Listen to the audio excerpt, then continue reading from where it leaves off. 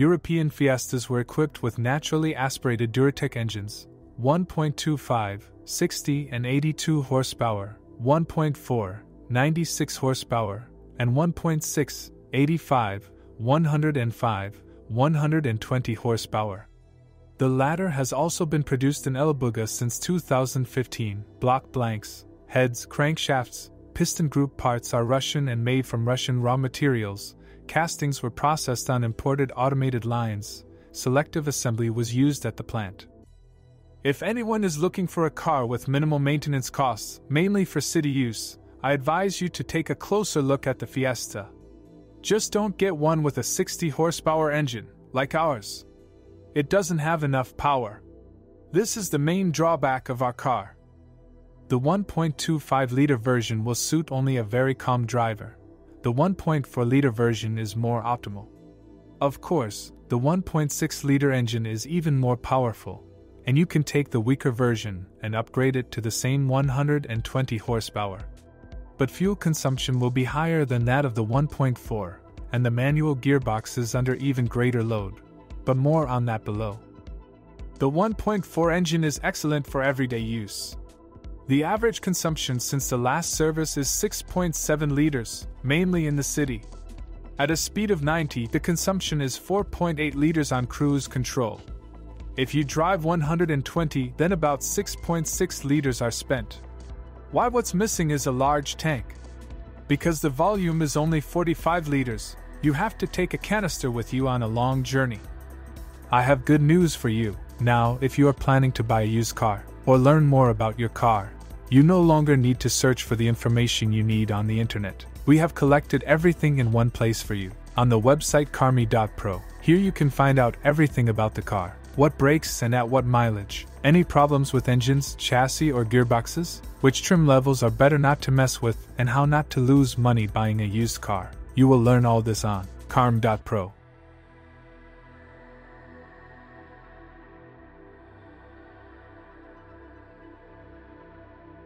In any case, these, aspirated, engines have proven themselves to be durable. 300,000 kilometers are quite achievable, especially in the case of 1.4 and 1.6 engines, and in general, devoid of serious problems affecting reliability. But firstly, this is achieved with timely maintenance, and secondly, it is not guaranteed to get rid of minor troubles. So, although replacing the timing belt is recommended every 120,000 kilometers, this is reasonable for a factory kit, and when using licensed parts, it is worth reducing the interval to 90,000 kilometers or at least from this mileage to monitor the condition of the belt at each maintenance. Also, after 120,000 kilometers, it may be necessary to replace the crankcase ventilation valve, PCV. The part is inexpensive but responsible. If the valve fails, serious damage to the engine can occur. An original oil filter will cost $6, and decent brands will cost 4 to $5. An air filter is more expensive, but for example, Knecht will be in the top 10, and MAN 7 to 8. In general, in terms of costs, we like the maintenance of the Fiesta, both in terms of fuel consumption and maintenance. Modifications with variable valve timing can make life difficult due to insufficiently durable phase regulators. And with age, oil leaks through gaskets and seals and coolant leaks through leaky hoses are possible. Plus, the pump is far from the most reliable unit, and this already entails the risk of overheating. In general, there are no special problems, but in terms of small details, an old engine may well keep the owner on his toes. Accordingly, health, and longevity depend, among other things, on the quality of service. After restyling, Fiesta received a 1.0 liter three cylinder naturally aspirated engine, 65 to 80 horsepower, as well as the famous EcoBoost of the same volume, 100, 125, and 140 horsepower, which repeatedly won the International Engine Award year. Due to its characteristics, they are truly outstanding but this is achieved by complicating the design, thus, to ensure immediate traction even from low revs. A low inertia continental turbine and a system of independently variable intake and exhaust timing are used, and direct fuel injection is also used. The engine block is cast from cast iron, which increases its rigidity, reduces the amount of energy required for warming up by 50%, and reduces fuel consumption. To optimize the temperature regime, a split cooling system with two thermostats is used. An exhaust manifold integrated into the cylinder head reduces exhaust gas temperatures, optimizing engine performance over a wide speed range. To reduce the vibration load of the three cylinder engine, a new balancing scheme has been used, and a low friction timing belt and oil mist with a dynamic tensioner is designed to make the engine very quiet. Surprisingly, all this economy lives for a long time and does not bother us with serious problems, especially after 2015. And in early versions, for example, fogging or oil leaks from under the valve cover and cylinder head, as well as malfunctions of the cooling system were noted, cases of hose destruction were noted, and a leaking pump seal is also typical. We also remember about direct injection, turbocharging, and a generally complex design, it's definitely not worth saving on the quality of fuel and lubricants and maintenance. By the way, Ford Castrol Magnatec Professional E5W20 oil with WSS M2C948B approval was developed specifically for this engine. Now there are analogs from other manufacturers, but it is better to choose strictly according to the specifications. And of course, let's not forget about the most obvious blow to the budget replacing the timing drive. The fact is that the belt is bathed in an oil bath, so the replacement procedure is labor intensive with its own specifics, requiring the mandatory replacement of additional parts, gaskets, bolts, etc. As a result, the cost of work and materials depends on the chosen location. Work ranges from 400 to $1,000. Initially, Ford declared the belt life at 240,000 kilometers in 10 years. But in our conditions, it has to be changed when it reaches 120,000 kilometers or after 5 years. There are quite a few images on the internet of a belt that is fairly worn out and with much lower mileage, so it's better not to take risks here. Tightening environmental standards and the introduction of the same 1.0 liter EcoBoost has led to the fact that the role of small displacement diesel engines in the Fiesta power line has decreased. Nevertheless, over the years, the car was equipped with 1.4 TDCI, 70 horsepower, 1.5 TDCI, 75 to 95 horsepower, and 1.6 TDCI, 75 to 95 horsepower, engines. All of them are of French origin, obtained as a result of collaboration between Ford and the PSA concern. The 1.5 TDCI engine is essentially a downsized version of the 1.6 liter turbo diesel. The displacement is reduced due to the piston diameter from 75 to 73.5 mm while maintaining the stroke of 88.3 mm. From its predecessor, it inherited such sores as failure of the turbine actuator and the oil separator, which throws oil onto the turbine. Just as with the 1.6 liter engine, cars with short city trips have problems with the EGR valve. Therefore, further ignoring the problem is fraught with intake problems, Failure of the particulate filter, by the way, early versions, including those officially sold, we might not have it. The remaining issues are related either to age or to previous use. It is worth noting here that in Europe, diesel Fiestas often worked in corporate fleets, and specifically as courier or acceleration vehicles, so the mileage and condition are appropriate. After the purchase, you should immediately replace the timing drive, again, the official interval of 200,000 kilometers is too optimistic, and you should also change the fuel injection pump pulley star. You can read more about pass through Ford engines in a separate article. The most common is the 5 speed manual IB5, which has proven itself to be not the most durable. The bearings suffer, and for active drivers, the differential is also at risk. Of course, on a light Fiesta with predominantly low power engines, the gearbox does not suffer as much as on heavier and more powerful focuses. But it is obvious that the chances of finishing off it with a 1.6 liter engine are much greater than with the stunted 1.25. In any case, the unit cannot be called completely problem free. Therefore, before purchasing, carefully listen to the operation of the manual transmission in all modes. Increased noise and howls should alert you. To delay the occurrence of problems, try not to unnecessarily load the gearbox, especially when it's cold. Change the oil every 60,000 kilometers and watch for transmission oil leaks through the axle seals. Before restyling, Fiesta with a 1.4 liter gasoline engine could be equipped with a 4 speed automatic transmission, which pleases with service life and reliability, and even on well traveled cars does not require anything other than timely oil changes. More recent Fiestas were equipped with a 6 speed Getrag 6 DCT 250 robot with dry clutches. Its unimportant reputation, as usual, applies more to the earlier versions, where of the shift mechanism, incorrect firmware, and malfunctions of the control unit led to delays and shocks when changing gears. Jerking and vibration at low speeds could be the result of another problem.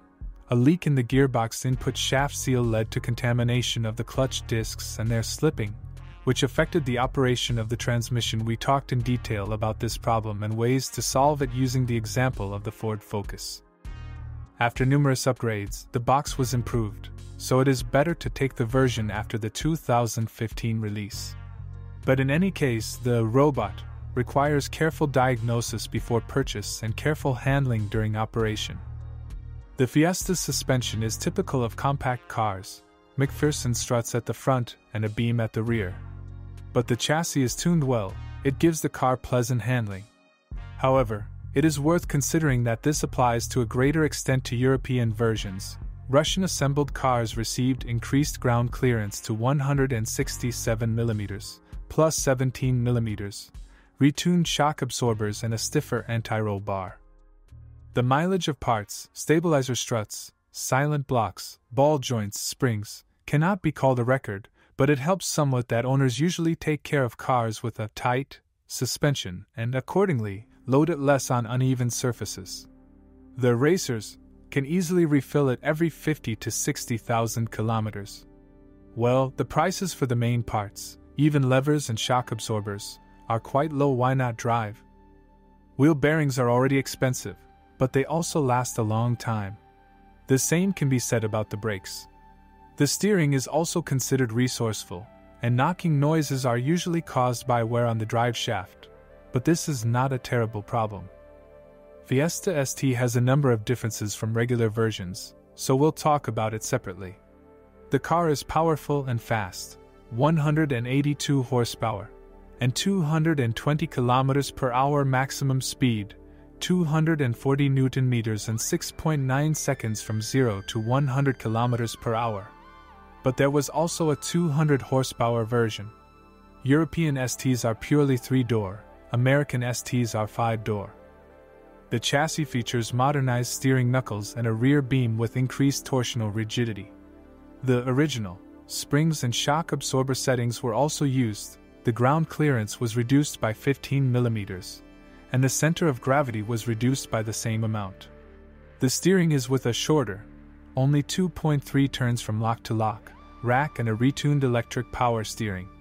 Larger brakes at the front, disc brakes at the rear, and a more powerful master cylinder. But accordingly, finding all these components and parts will not be as easy as for a regular Fiesta. Their costs will be higher. 182 horsepower? I believe it. They are not confused in the gears of the box, not exhausted by excess weight, and not calmed by concerns about the environment. The Fiesta ST really goes for these 180 plus horses. The 1.6 EcoBoost engine doesn't seem to be very boosted, 182 horsepower firmware is also available for other Ford passenger models. But let's not forget what kind of life. Charged hot hatches, live, track days, amateur racing, just driving fast plus an attempt to further increase the impact. So overheating and damage to pistons sometimes happens on hot Fiestas. But the 6 speed manual transmission is much stronger than its 5 speed relative and can withstand high torque and aggressive driving. Most likely, if you have to spend money on anything, it will only be on replacing the clutch. At least with a mileage of up to 200,000 kilometers. As you can see, maintainability, and therefore the cost of repairs, if needed, largely depends on what kind of engine and gearbox are installed on the car. It is clear that the ST version will be more expensive to maintain. But unexpectedly, you risk paying a lot during major maintenance, with replacing the timing drive and in the case of the 1.0 liter EcoBoost. You have to be careful with the robotic box too. Therefore, the best option from the point of view of operating costs is a 1.4 or 1.6 gasoline engine, but only with a live, manual transmission or a tested, automatic. Diesel will probably not be so much more economical as it will be more tired. And of course, we recommend the Fiesta after restyling. Not because it looks like a small Aston Martin, but because at least it will be more recent in terms of year of manufacture and has seen fewer winters in our latitudes taking into account the corrosion resistance of the body. This is also important. European Fiestas are 3 and 5 door hatchbacks, as well as commercial versions based on them, without add ons, but with darkened windows and corresponding interior trim in the cargo compartment. Sedans were also offered for the US, Russian, and Chinese markets but even they do not have much capacity, which is especially obvious on the basis of B Plus models like the Skoda Rapid or Renault. Let's be honest, Fiesta does not have the most spacious interior and not the most capacious trunk, 295 liters for the hatchback and 455 liters for the sedan. And this must be taken into account when choosing, especially if you are taking the only car for the family but the interior and the quality of the materials used are at the level of European B class models, which, whatever one may say, is higher than that of the notorious Russian assembled. State employees? It's convenient to drive a Fiesta around the city. It's nimble, compact, you can park it in any yard. A very big plus is that the car is maneuverable. In terms of comfort, I would like better sound insulation, because when you drive at high speed, plus, in our opinion, it's not the best asphalt, you can hear it all very well. As a rule, the equipment is not the most sophisticated, but there are few problems with functional equipment. Complaints about the operation of the interior heating and ventilation system are relatively common, from a banal breakdown of switch levers to a malfunction of the heater motor and on older copies, certain problems are already possible due to loss of contacts due to corrosion or broken wiring in the doors. Cars of these years had very soiled fabric, especially for the rear seats. If no one drives in the back, dust accumulates there, no one knocks it out. The slightest drop of water a stain appears on the upholstery. Another problem is that the seat fastenings rust. Moreover, I looked at different cars, they all have this problem. The body is welded from galvanized metal, but the paintwork is not the thickest and most resistant to mechanical damage, so old cars, especially if they were not particularly looked after or were driven by not very careful drivers, often already have a rather tired appearance. What's worse is that after six to eight years, corrosion can appear in hidden cavities, in welds and on folds, so good appearance should not relax you when inspecting the car before purchasing. Try to get to the power elements, Carefully inspect the bottom, sills, lower edges of the doors, an unpleasant surprise may await you. Fiesta 6 does not rot quickly, but it is still difficult to call it a leader in terms of body corrosion resistance.